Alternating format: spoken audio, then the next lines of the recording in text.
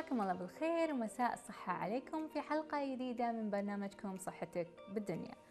هل في اليوم تساءلتوا أن أحجام وألوان الأطباق اللي تاكلون فيها تأثر على كمية الأكل اللي تتناولونها؟ إي نعم ممكن تأثر. هذا السؤال سأله كثير من علماء التغذية وعلم النفس على مدار السنين وشافوا أن الألوان وأشكال الأطباق اللي نتناول فيها أكلنا ممكن تأثر على كمية الأكل وبالت- وبالتالي تأثر على صحتنا ووزننا. هذه الشغلة بدت من زمان من حوالي عام 1865 لما عالم شهير اسمه ديل بويف رسم دائرتين لونهم سود. ورسم حوالينهم دائرة صغيرة في أحد الأطباق ودائرة كبيرة في طبق آخر. شاف أن الأشخاص اللي يتناولون الأكل من الدائرة الصغيرة أو الطبق الصغير يتناولون أطعمة أقل من الأشخاص اللي يتناولون نفس كمية الأكل موجودة في طبق كبير. وبالتالي أن أحجام الأطباق آه، اللي نتناول فيها أكلنا ممكن تأثر على كمية الأكل اللي نتناوله وبالتالي تأثر سلبا على وزننا وصحتنا. شافت الدراسات الحديثة أن مقارنة بالتسعينات أحجام الأطباق عندنا زادت حوالي 23% كان الطبق اللي آه، سابقا حجمه تقريبا 9.6 إنش وحاليا حجمه 11.8 إنش. هني هذه الزيادة البسيطة في حجم الطبق زادت آه، من تناول الأشخاص للسعرات الحرارية بمقدار 50 سعرة حرارية فقط.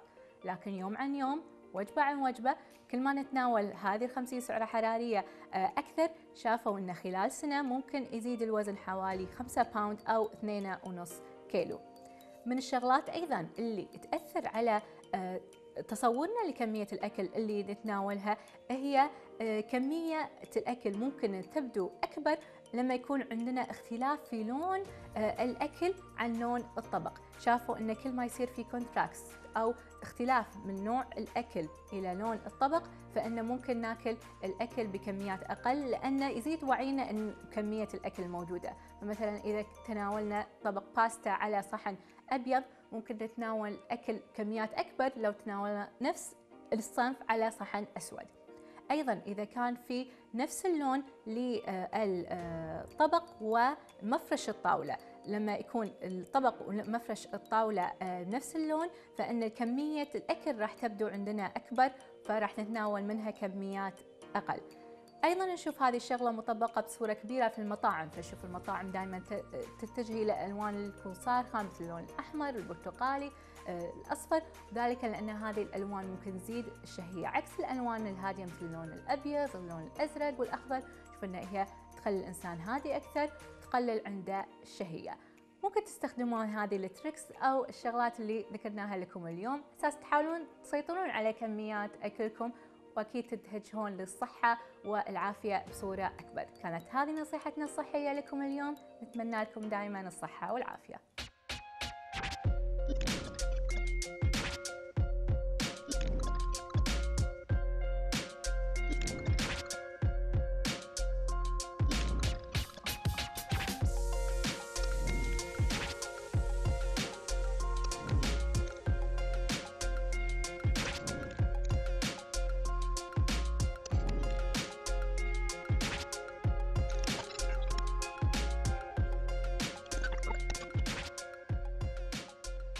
أهلا وسهلا فيكم أخواني وأخواتي. في سؤال دائما يتكرر. دكتور أنا عندي عوار بالظهر. هل عندي مشكلة في الديسك؟ الجواب ما يشترط. كثير من الآلام اللي تصيب الناس وخاصة آلام الظهر يا جماعة ما لها علاقة في الديسكات.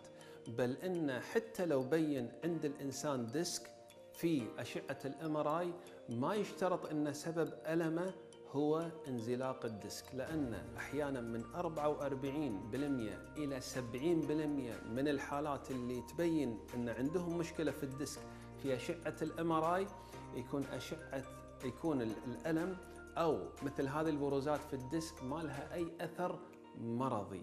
يعني ما نخاف من مشكلة الديسك.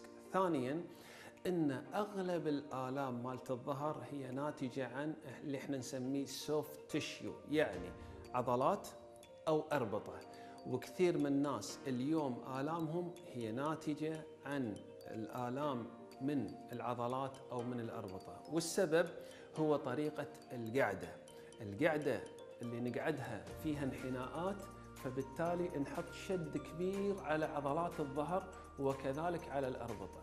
وكثير من الناس اليوم عندهم زيادة في تقوس الظهر. إذا صار عندهم زيادة في تقوس الظهر معناها راح تقصر العضلات مالت الظهر وكذلك الأربطة. فإذا قصرت عندنا الأربطة أو العضلات وقعدنا بشكل في انحناء معناها راح يكون عندنا آلام نتيجة هذا الشد المستمر بالطريقة الخاطئة في هذه القعدة. يعني إذا كان عندي قعدة بطريقة خاطئة أول ما راح يعورني أصلا هو العضلات أو الأربطة. قبل ما أوصل حق مشكلة ال disc مشكلة ال disc تعتبر اليوم من المشاكل وإن كانت كثيرة إلا أنها مرحلة متأخرة من آلام الظهر وإنما أغلب آلام الظهر راح تكون نتيجة العضلات ونتيجة الأربطة. إذا صار عندي زيادة في تقوس الظهر وقصرت عضلات الظهر ويا الإنسان يشندس عشان يشيل شيء أو يحمل طفل أو مثل بعض الأخوات تبدل الطفل بطريقة فيها انحناء هني راح تكون تشد هذه العضلات ينتج عنها. بمثل هذا الوضع ألم. هذا الألم نتيجة العضلات وليس نتيجة ديسكات في الظهر. فبالتالي ما نخاف من مشكلة الديسكات خاصة في المراحل الأولى. إذا كان هذه المشكلة فالسبب ببص... فالعلاج ببساطة إن إحنا نقوي هذه العضلات حتى تستطيع إن هي تسندنا لفترة طويلة إذا جينا نشيل شيء راح تكون العضلات قوية وقادرة على إن هي تقوم بالمجهود العضلي اللي نحتاجه كل يوم بعد يوم. هذه الأمور لابد نحطها في بالنا عشان ما يخرعون كثير من الناس إن مع أي ألم في الظهر إن أكيد عندك دس، أكيد عندك عرق النسا، الأمور هذه جدا بسيطة وعلاجها جدا بسيط، ما تشوفون شر.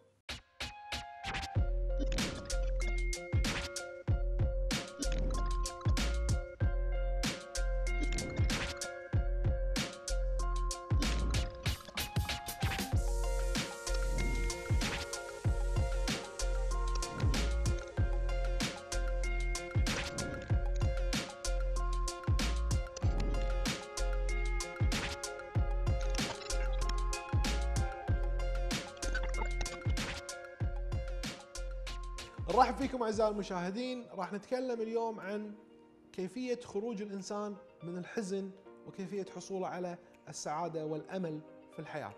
واحدة من الطرق اللي نستخدمها مع الناس المكتئبين أو غير الناس المكتئبين في حالات أخرى كذلك ما راح أذكرها الحين هي وضع الأهداف. في عندنا أهداف ثلاث مستويات، هدف بعيد المدى، هدف متوسط المدى وهدف قصير المدى. لو جيت حق شخص وهو تخيلوا معي وجينا حق شخص حزين قاعد في البيت يعني ما قاعد يمارس أي شيء في حياته اليومية.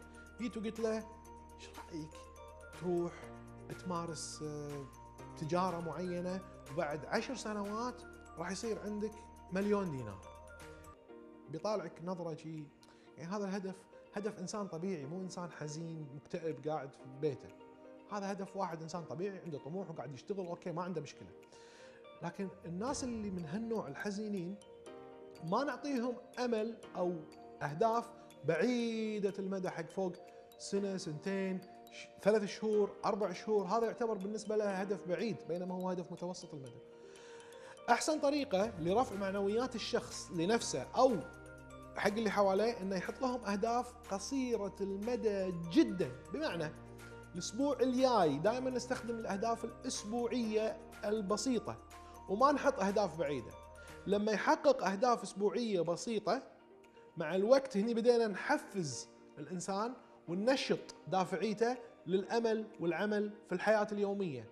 من يبدأ يتأمل ويحس إن الحياة ممكن قابلة للإنجاز وقابلة للنجاح ممكن يحقق أشياء تونسه وتسعده هني نبدأ نحط أهداف بالتدريج متوسطة وبعدين نوصل إلى بعيدة المدى. أهداف قصيرة مثل شنو؟ واحد قاعد ما يطلع من البيت إيش رأيك تتعلم تطلع يوم واحد في الأسبوع؟ رأيك تشترك في نادي؟ يقول لك لا نادي أنا أقعد أربع ساعات ولا ساعتين في النادي وألعب رياضة وقصة. لا لا لا لا. لا تحط هذا الهدف ولا تحط هذه صورة النادي بالنسبة لك. النادي روح له حق الوناسة. اقعد بالنادي نص ساعة يوم واحد في الأسبوع. روح اشترك شهر أول شهر روح بالأسبوع مرة. اقعد نص ساعة طبش في الماي. اقعد في ال treadmill تمشي على الخفيف طالع الناس سلم على هذا وسلم على هذا. يبا روح ولا تلعب اقعد في القهوة واشرب شاي ولا اشرب لك قهوة واكل لك سندويشة ولا شيء وانت قاعد طالع الرايح والراد وتشوف الناس وشلون تعبانين وشلون قاعدين يعرقون لأن كذلك نظرتنا للآخرين تعطينا أمل ودافع إن إحنا نصير مثلهم. اللي هو ما يسمى في نظرية التعلم الاجتماعي إن أنا أتعلم من الآخرين. فهني قاعدين نعلم الشخص أو نفهم نربط ذهنيا عند هذا الشخص إن ترى النادي ما في مجهود. تروح عشان تستانس. فعلمنا هذا الإنسان إن الذهاب إلى النادي هي مجرد للوناسة. مع الوقت هذا هدف أسبوعي. بعد أسبوعين ثلاثة إيش رأيك نزيد هذه المدة ونخليها يومين في الأسبوع؟ كل يوم ساعة أو نص ساعة. وهكذا إلى أن نوصل إلى خمسة أيام في الأسبوع مع الوقت. يمكن ياخذ الموضوع هذا ثلاث شهور. يمكن ياخذ شهرين. يمكن ياخذ ست شهور. مو مهم. المهم إن إحنا نتدرج مع هذا الشخص وما نحط أهداف بعيدة. واحد وزنه 150 كيلو. نقول له إيش رأيك تدش النادي عشان تطيح لك 50 كيلو؟ لا. يبا دش النادي وخلال شهر طيح لك كيلو ولا كيلو ونص. كافي. هذا شيء زين. أهداف بسيطة علشان ما يحبط ويشوف الأهداف البعيدة إنه بعيدة المنال أنا وين أسويها؟ الأحسن إن أنا أظل قاعد بمكاني ولا أسوي ولا شيء. يعطيكم العافية.